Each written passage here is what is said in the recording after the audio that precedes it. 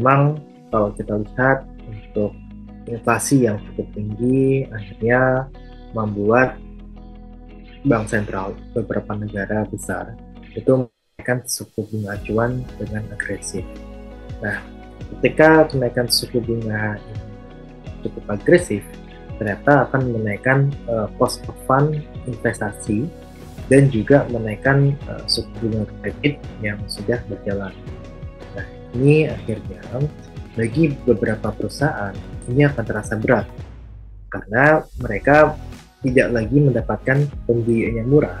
Terus kemudian juga mereka harus menanggung beban yang cukup tinggi akibat dari kenaikan suku bunga acuan.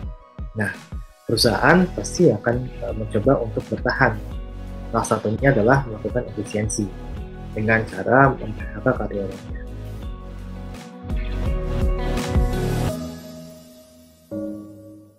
Efek yang domino dari adanya perang uh, Rusia Ukraina.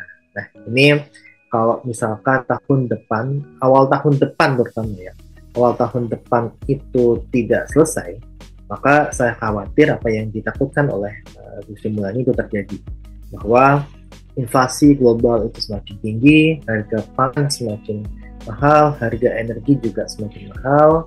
Nah ini yang menjadikan uh, permintaan semakin menurun.